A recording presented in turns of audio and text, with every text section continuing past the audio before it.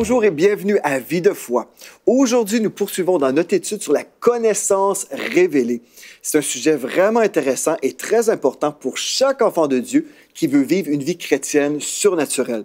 Dieu ne nous a pas appelés à entrer dans une religion. Vous savez, la religion va bourrer notre crâne, va nous donner beaucoup d'informations, mais la religion ne change pas le cœur. Ce qui est merveilleux avec Dieu, le Dieu de la Bible, quand on le rencontre, nous devenons rayonnants de joie. Pourquoi? Parce qu'il nous change à l'intérieur. Il change notre nature.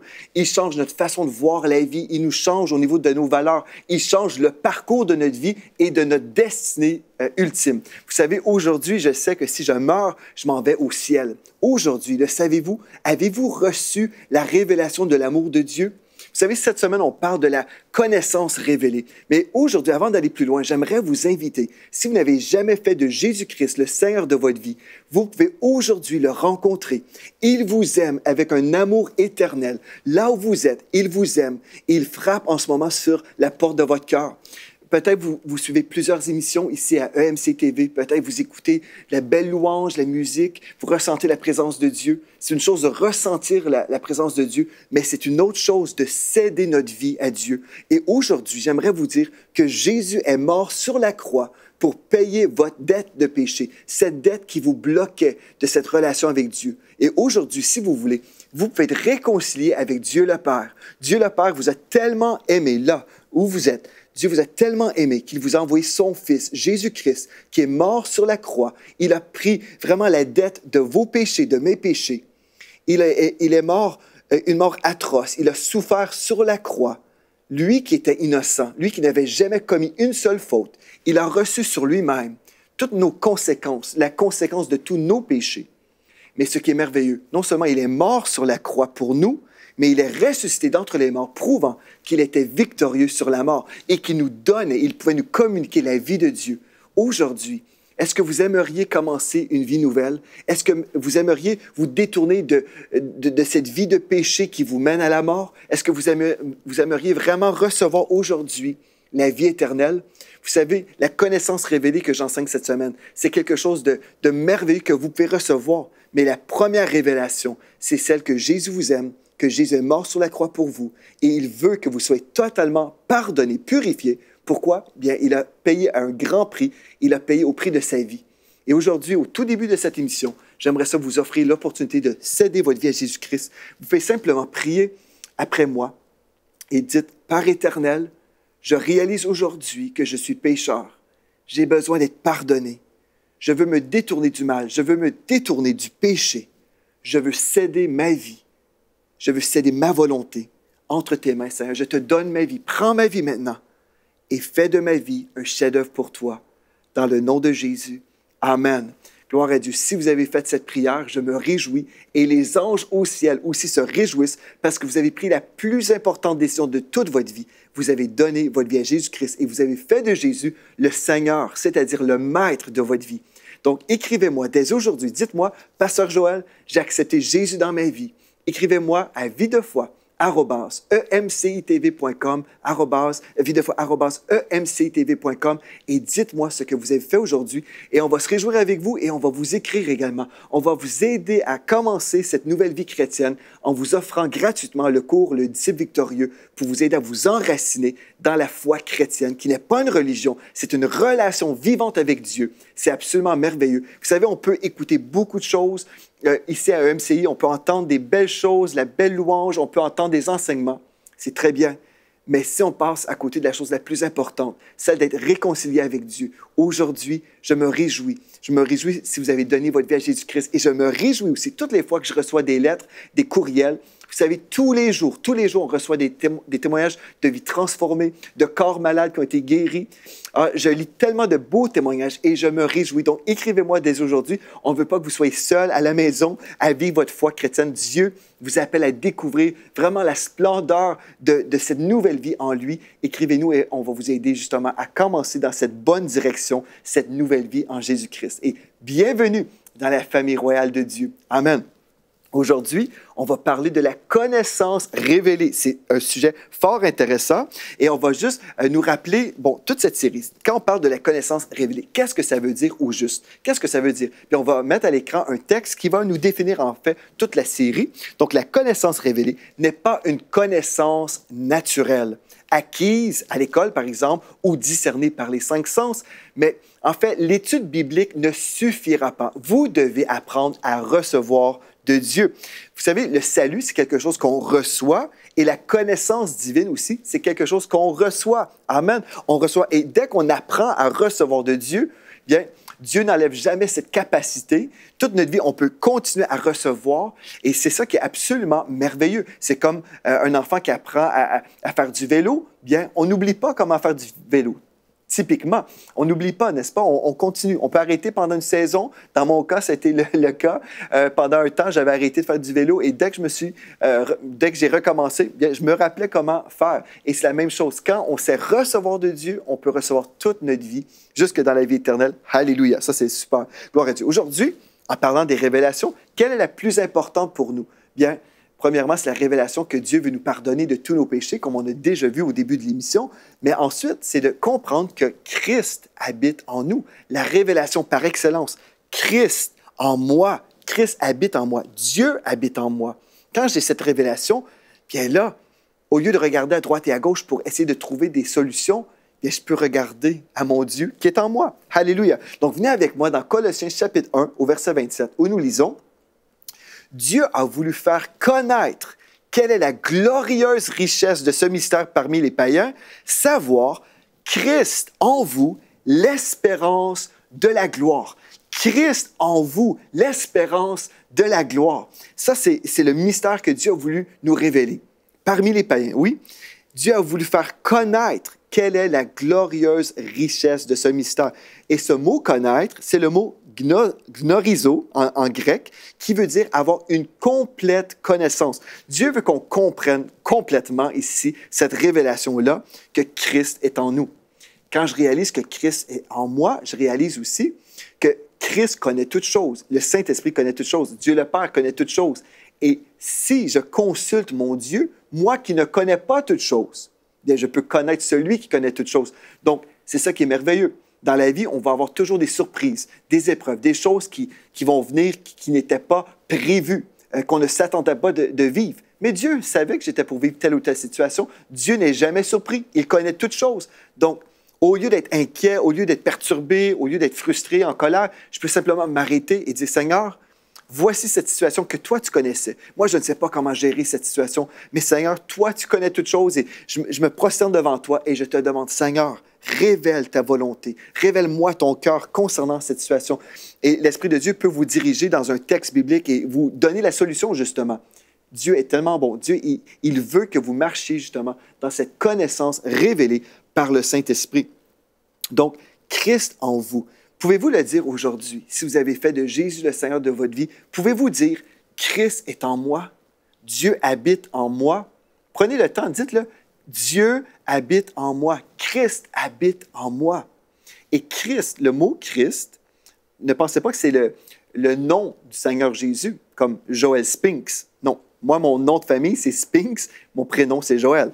Bon, ce n'est pas, des fois, les gens pensent que Jésus-Christ, en fait, que Jésus, c'est le, prénom du Seigneur et Christ, c'est son nom de famille. Non, non, non, détrompez-vous. Christ nous parle de l'onction ou euh, la présence du Saint-Esprit, le oin de Dieu. Donc, Christ, Jésus-Christ, OK, est en vous. Donc, l'onction de Dieu est en vous. C'est merveilleux, n'est-ce pas? Et là, remarquez bien, dans 1 Jean 4, 4, nous lisons, Vous, petits-enfants, vous êtes de Dieu et vous les avez vaincus. Toutes les oppositions, tous les esprits méchants, OK, toute l'opposition du diable. Vous les avez vaincus parce que celui qui est en vous, qui est en moi, Christ, le Saint-Esprit aussi est en moi. Celui qui est en vous est plus grand que celui qui est dans le monde. Quand j'ai cette révélation-là, plus grand est celui qui est en moi que celui qui est dans le monde. Des fois, on peut être intimidé par, euh, par euh, des attaques ou par des paroles même. Des personnes peuvent nous attaquer, euh, nous mépriser. Les gens, des fois, ne sont pas très gentils. Et on peut être intimidé ou il peut, il peut y avoir des choses dans la société qui changent. Et puis là, on, se remet en question, comment agir mais plus grand est celui qui est en moi que celui qui est dans le monde. Peut-être aussi, euh, votre corps a été attaqué par une maladie. Mais quand vous vous rappelez de ceci, plus grand est celui qui est en moi que celui qui est à l'extérieur. Le diable peut m'attaquer, il peut m'envoyer des symptômes, il peut envoyer des choses contre moi, mais là, je peux guérir aussi parce que, en fait, vous savez, la guérison commence de l'intérieur jusqu'à l'extérieur. Et on peut se rappeler, Seigneur, Jésus, tu habites en moi. Et par tes meurtrissures, j'ai été guéri. Tu as, euh, tu as pleinement payé à la croix pour ma guérison divine. Alléluia. Et je reçois, je reçois ma guérison. Amen. Ça, c'est tellement merveilleux de savoir. Celui qui est en vous est plus grand que celui qui est dans le monde. OK? Et là, dans 2 Pierre, chapitre 1, versets 3 et 4, remarquez bien ceci. Là, quand je comprends que Christ est en moi, quand je comprends en fait que le Saint-Esprit est là, là, toute ma vie chrétienne peut totalement changer. Peut-être j'étais religieux avant. Peut-être avant, je faisais juste lire la Bible et puis j'essayais de comprendre avec ma tête. Mais là, quand je commence à recevoir cette connaissance révélée, remarquez ce qui va se produire. 2 Pierre chapitre 1 verset 3, nous lisons Comme sa divine puissance nous a donné tout, nous a donné tout ce qui contribue à la vie et à la piété ou à la vie sainte, au moyen de la connaissance de celui qui nous a appelés par sa propre gloire et par sa vertu, lesquels nous assurent de sa part les plus grandes et les plus précieuses promesses, afin que par elles, vous deveniez participants de la nature divine en fuyant la corruption qui existe dans le monde par la convoitise. Je vous ai lu quelque chose ici qui est absolument glorieux, mais on va prendre le temps, on va relire pour comprendre vraiment ce qu'on a vu ensemble. OK, on va le reprendre. Donc, comme sa divine puissance, je lis en ce moment dans 2 Pierre chapitre 1, versets 3 et 4. Donc, comme sa divine puissance nous a donné tout. Donc, quand vous comprenez ceci, celui qui est en vous, Jésus-Christ qui est en vous, Amen, il vous a donné tout ce qui contribue à la vie et à la piété. Si vous dites, ben moi, je ne sais pas quoi faire dans la vie, je ne sais pas comment agir, euh, bien, vous avez celui qui connaît toutes choses, qui habite en vous. Remarquez, il vous a donné tout. Non, non, il me manque quelque chose. Non, c'est faux. Il ne vous manque rien. Le shalom de Dieu sur vous. Vous n'avez rien de brisé, rien de manquant en vous au nom de Jésus-Christ. Remarquez bien, il vous a donné tout ce qui contribue à la vie. Donc, votre façon de vivre, vous le savez déjà, par le Saint-Esprit, vous savez comment vivre. Amen. Donc, il vous a donné tout ce qui contribue à la vie et à la piété. Mais comment? Comment faire? Pasteur Joël, comment faire? J'ai tout en lui pour savoir comment vivre et comment vivre dans la sainteté, la piété, tout ça, mais comment faire? Le texte poursuit en disant au moyen de la connaissance. C'est pour ça que la connaissance révélée est vitale pour l'enfant de Dieu. Au moyen de la connaissance de celui, on parle ici de Dieu. Et le mot connaissance ici, c'est le mot épignosis en grec qui nous parle d'une connaissance précise et correcte. Ce n'est pas une connaissance comme ça, là. Oh, je sais qu'il va pleuvoir demain, la météo annonce la pluie. Non, ce n'est pas une connaissance intellectuelle, peu importante, c'est une connaissance révélée par le Saint-Esprit, mais qui est précise et correcte. Bon, ici, on parle en fait de connaître la volonté de Dieu pour notre vie. Donc, euh, Dieu nous a tout donné en ce qui concerne la vie, la vie et la piété. Vous savez, nous sommes des ambassadeurs de Christ, n'est-ce pas? Vous êtes un enfant de Dieu. Notre résidence, c'est la Nouvelle Jérusalem, le ciel. Amen. Et vous êtes des ambassadeurs sur, euh, sur terre aujourd'hui, des ambassadeurs de Christ sur la terre.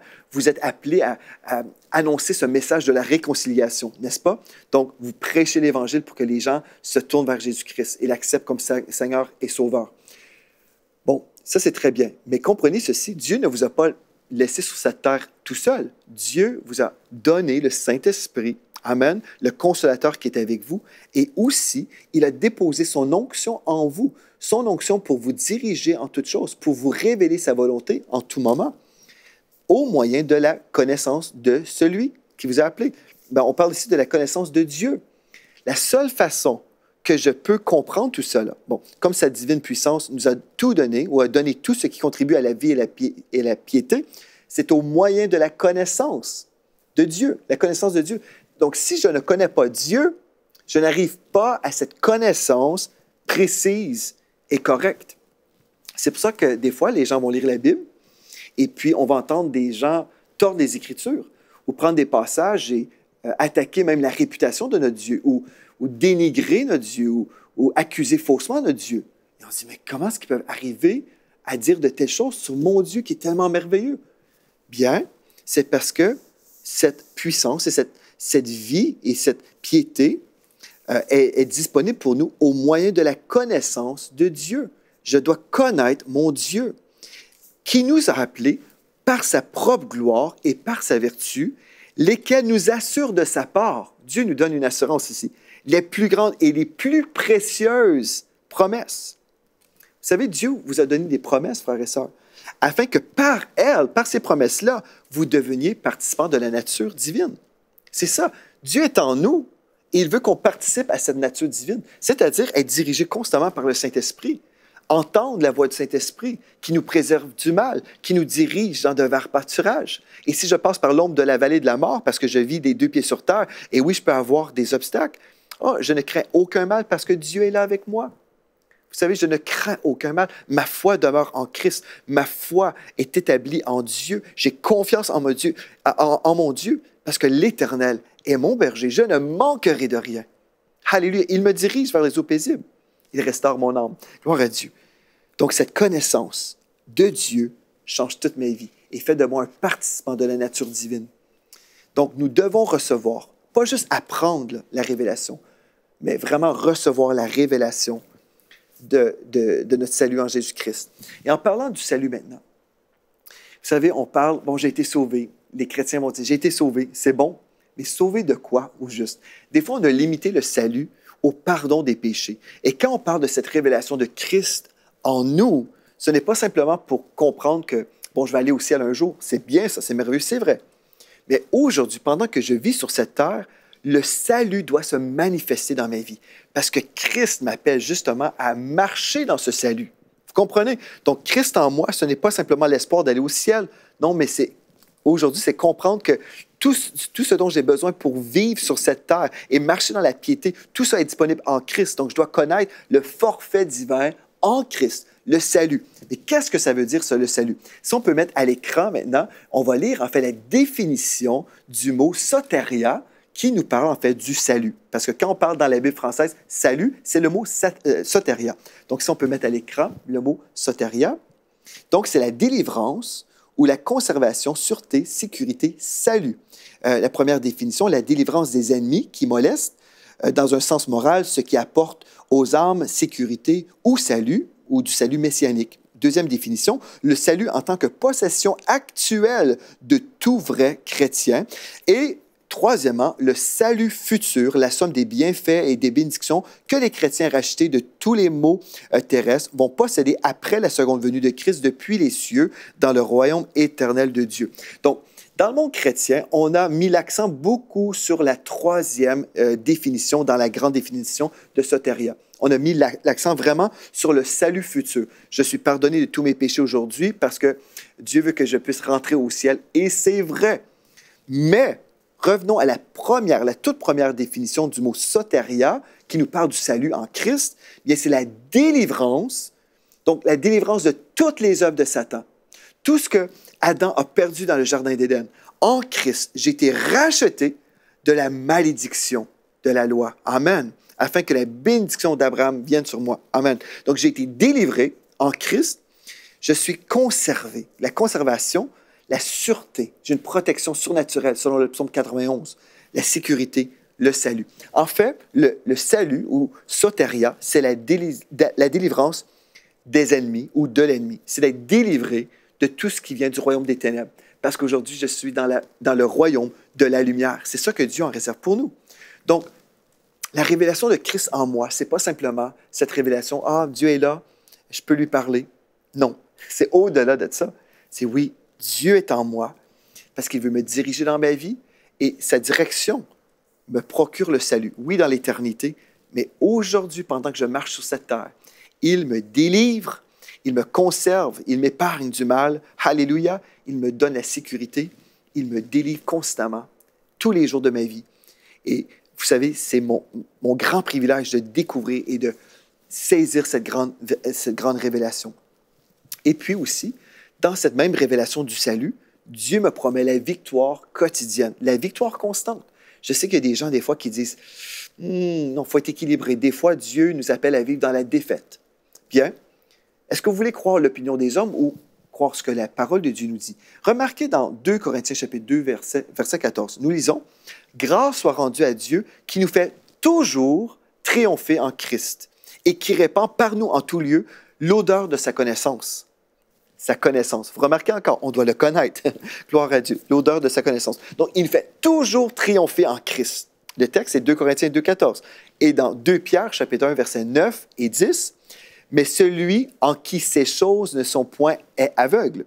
Il ne, voit, il ne voit pas de loin. Il a mis en oubli la purification de ses anciens péchés. C'est pourquoi, frère, appliquez-vous d'autant plus à affermir votre vocation et votre élection, car en faisant cela, vous ne broncherez jamais. Ou dans la version Summer, vous ne tomberez jamais. On parle ici d'être toujours triomphant en Christ. Vous ne broncherez jamais. Vous ne tomberez jamais. Bien, est-ce que c'est possible? Oui, mais vous devez le connaître, frères et sœurs. Vous devez connaître que Christ est en vous, l'espoir de la gloire. Et je vais terminer avec 2 Pierre, chapitre 1, verset 5. Il est écrit, Faites tous vos efforts pour ajouter à votre foi la vertu, à la vertu, la connaissance, à la connaissance, la maîtrise de soi, à la maîtrise de soi, l'endurance dans l'épreuve, à l'endurance, la piété, et à la piété, l'affection fraternelle, et à l'affection fraternelle, l'amour. Car si vous possédez ces qualités, si elles grandissent sans cesse en vous, elles vous rendront actifs et vous permettront de connaître, remarquez, de connaître toujours mieux notre Seigneur Jésus-Christ. Alléluia. On va écouter ensemble maintenant un chant du groupe Éden. Et tout de suite après, on va sceller tout ça dans la prière. Amen.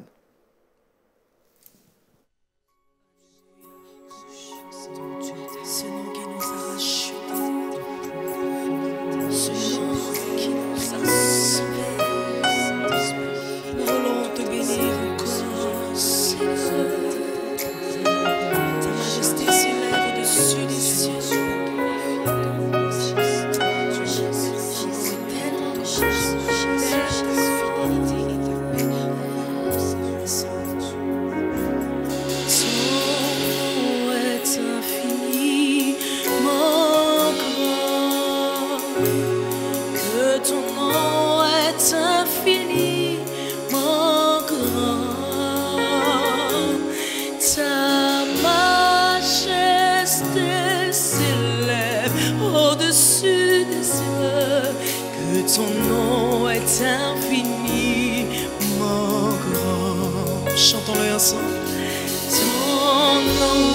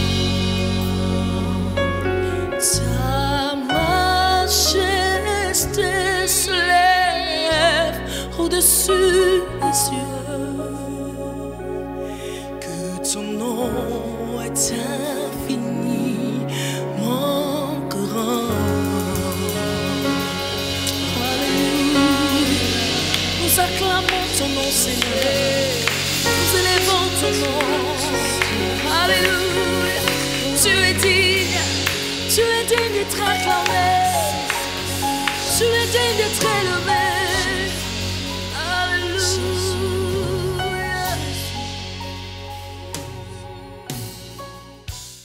Alléluia, son nom est infiniment grand.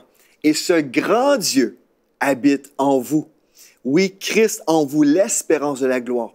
Et dans le nom de Jésus-Christ, maintenant je scelle par l'autorité de ce nom au-dessus de tous les noms, je scelle cette révélation que Christ habite mes frères et mes sœurs. Et aujourd'hui, ils peuvent se voir debout dans la foi, ils peuvent se voir forts et puissants, revêtus d'onction. Et aujourd'hui, je parle même à ceux qui sont malades dans leur corps. Le Christ en vous est celui qui vous guérit maintenant. Dans le nom de Jésus-Christ, je commande à la maladie, vous quittez maintenant.